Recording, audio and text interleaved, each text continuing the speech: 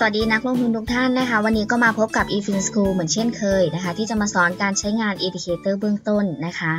วันนี้เราก็จะมาเรียนรู้ Indicator ที่ชื่อ LLV หรือ Low Low Value นะคะ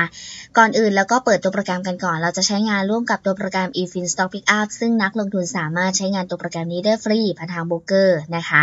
เปิดโปรแกรมเข้ามาเข้ามาที่หน้ากราฟนะคะ หลังจากนั้นคลิกที่เครื่องหมายบวกทางด้านขวามือนะคะ แล้วก็เลือกหัวข้อแรกเลย Add Indicator to New Panel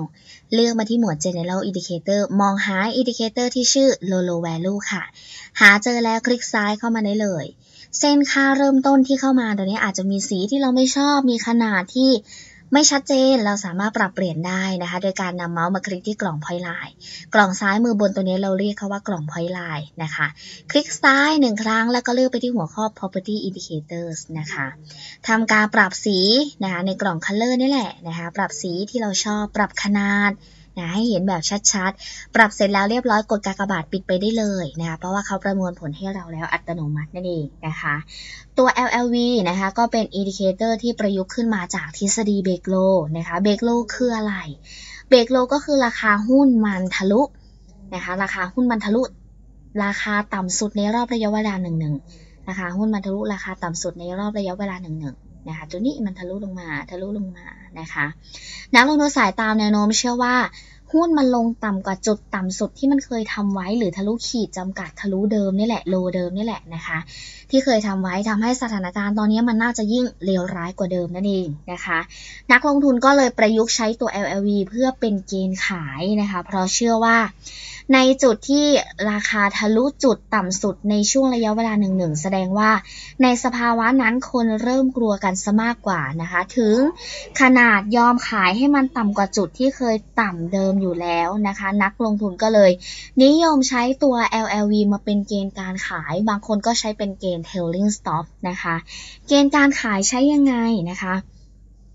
เกณฑ์การขายเราจะใช้เป็นเกณฑ์การขายก็ต่อเมื่อราคา last มันต่ำกว่า low low value ของวันก่อนหน้า ตัวนี้เป็นเกณฑ์ขาย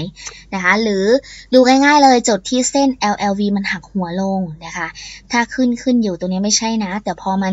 หักหัวลงปุ๊บ นะคะจุดนี้จะเป็นเกณฑ์ขายนั่นเองนะคะขึ้นขึ้นอยู่ยังไม่ใช่ แต่พอหักหัวลงเป็นเกณฑ์ขายนะคะหักหัวลงเป็นเกณฑ์ขายขึ้นขึ้นอยู่หักหัวลงเป็นเกณฑ์ขายนั่นเองนะคะอันนี้ก็เป็นการดูเกณฑ์ขายนะคะนักลงทุนก็นิยมสามารถประยุกต์ใช้นะคะหรือหรือในสภาวะเดียวกันนะคะเราอาจจะเห็นว่าตัว LLV ตัวนี้นะคะมันมีการยกตัวสูงขึ้นเรื่อยๆ ยกตัวสูงขึ้นเรื่อย ๆ เลยนะคะ ช่วงเวลาที่มันยกตัวสูงขึ้นเรื่อย ๆ ตัวนี้ค่ะ ก็สะท้อนว่าจริง ๆ แล้วนะคะ หุ้นตัวนี้มันอยู่ในสภาวะที่ดีนะนะคะคือจุดต่ำสุดมันสูงขึ้นเรื่อย ๆ ความหมายดีนะคะ แสดงว่าคนในสภาวะเนี้ยไม่กลัวนะ นะไม่กลัวหรือมั่นใจในระดับหนึ่งนะคะ หุ้นมันถึงได้ยกโลสูงขึ้นเรื่อยๆ คือเทรดแล้วเหวี่ยงขึ้นลงแต่พอเหวี่ยงลงนะคะแต่เหวี่ยงลงไม่ต่ำกว่าโลเดิมนั่นเองนะคะอาจจะมีบางแกลบที่ขึ้นแล้วลงนะ แต่พอลงมันโลมันไม่ต่ำกว่าโลเดิมนะคะ อันนี้ก็เป็นสัญญาณที่ดีสามารถดูแนวโน้มแบบนี้ได้ด้วยนะคะเราจะมายกตัวอย่างเช่น อะหุ้นสักตัวหนึ่งนะคะทัสโกเนาะ ยกตัวอย่างเช่นหุ้นตัวหนึ่ง Tesco เราจะเห็นว่าตัว Tesco นะคะ ตัว LLV มันปรับตัวตรงนี้ยกตัวสูงขึ้นเรื่อยๆนะคะ แต่เราจะเห็นบางแกลบที่มันปรับตัวลดลงนะภาพมันอาจจะไม่ชัดเดี๋ยวขอซูมนิดนึง จุดนี้นะคะมันปรับตัวลดลงนะเล็กๆนะคะถ้าใครไม่ชัวร์ว่ามันลงจริงหรือเปล่านะคะ คลิกที่แท่งก่อนหน้าค่า LV อยู่ที่ 11.8 1850นะถัดมาอีกแท่งหนึ่งนะคะค่า LLV อยู่ที่ 11.80 ตัวนี้มันลดลงนะนะคะตัวนี้เป็นเกณฑ์ขายไปแล้วตามทฤษฎีนะคะขยับมาอีกนะคะขยับมาอีกนิดนึง จุดที่เราเห็นก็ท่าชัดเจนหน่อยก็คือจุดนี้นะคะตัวนี้ก็ขายไปแล้วอีกจุดหนึ่งนะคะอ่าตัวนี้ก็ขายไปแล้วอีกจุดหนึ่ง อ่าแล้วก็จะเห็นบางแกะตัวนี้ค่ะ เราจะเห็นว่าเวลามันปรับตัวลดลงปุ๊บตามทฤษฎีก็เป็นสัญญาณขายนั่นเองนะคะแต่ว่าตัวนี้มันสามารถปรับการตั้งค่าด้วยนะอ่าได้ด้วยนะคะเพราะว่าตัว LLV ค่า default ของเขาก็คือ 14 14 หมายถึงอะไรเป็นอ่า14 เป็นการนำแท่งเทียน 14 แท่ง 1 2 3 4 อย่างเงี้ยค่ะ นับไป 14 แท่ง ใน 14 แท่งตัวนี้ราคาโลนะคะราคาต่ำสุดโลที่ต่ำที่สุดนะคะอยู่ตรงไหนก็วาดเป็น 1 จุด นะถัดไปอีก 14 แท่งโลต่ำสุดอยู่จุดไหนก็วาดเป็น 1 จุด ถัดไปอีก 14 แท่งโลต่ำสุดอยู่จุดไหนก็วาดเป็น 1 จุดนะคะแล้วก็วาดเส้นต่อกันมาเรื่อยๆนะคะตัวนี้ก็เป็นการแสดงผลของตัว LLV ทีนี้เราจะมีการปรับการตั้งค่าตัวนี้สามารถปรับการตั้งค่าได้ด้วยได้ด้วยอาจจะไม่ชอบค่า 14 อาจจะปรับเป็นค่าอื่นสามารถทำได้วิธีการปรับก็เหมือนกับการปรับสีปรับขนาดเลย ก็คือคลิกซ้ายที่กล่อง point line แล้วก็เลือกไปที่หัวข้อ property indicators นะคะ ปรับค่าจาก 14 นะคะ เป็นค่าที่เราต้องการ สมมติอ่ายกตัวอย่างเป็นค่า 15 แล้วกัน